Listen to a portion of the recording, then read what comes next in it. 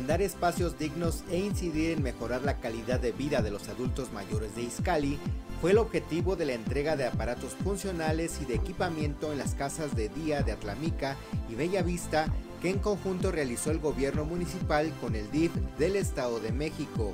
Es un trabajo en equipo y en efecto, hoy por el adulto mayor empezamos con estos aparatos, entrega de aparatos en, el, en, en los candiles, para que tengan mejor movilidad. Ustedes fueron testigos ahí de que muchos de nuestros abuelitos, abuelitos están en una silla de ruedas, una andadera, un bastón.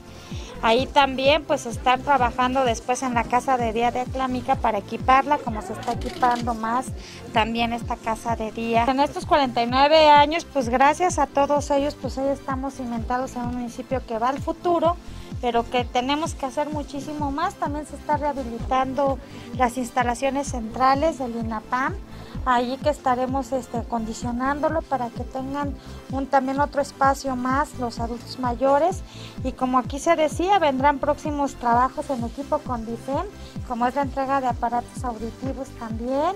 Y, y qué es lo que buscamos? Que haya más abuelitas y abuelitos en las casas de día, impulsar también los clubes de la tercera edad en muchas comunidades y por supuesto aspirar a hacer otras más pues en próximos momentos. Ah, pues ahorita tendríamos que abrir otros dos espacios, que por eso es que queremos ver el tema de la rehabilitación en La Quebrada,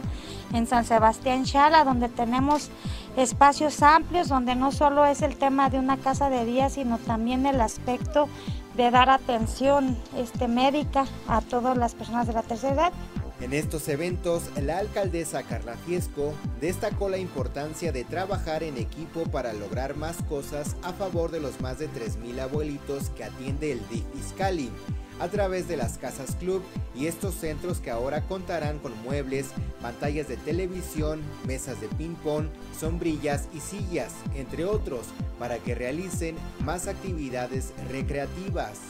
pues estamos hablando pues más de, de 2.000, 3.000 porque van viéndose con las propias tarjetas del INAPAM.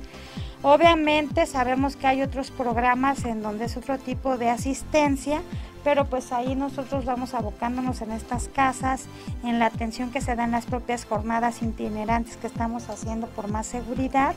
y bueno, pues la atención que se da el día a día en el propio Oficina Central de Vida. Que estaremos atendiéndolos como siempre porque lo más importante es que cada integrante de la familia, que es donde tenemos el corazón, el gobierno municipal, estemos favoreciendo su vida.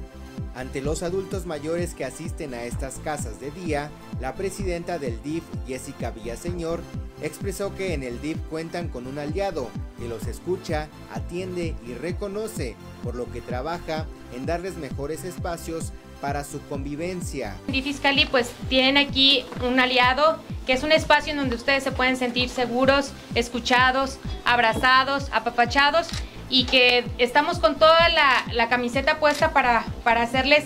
reconocer lo que ustedes son. La verdad es que son parte de la historia de Iscali y estamos muy contentos de, de, poderles ayudar, de poderles darles espacios pues mejores y de estar con ustedes conviviendo.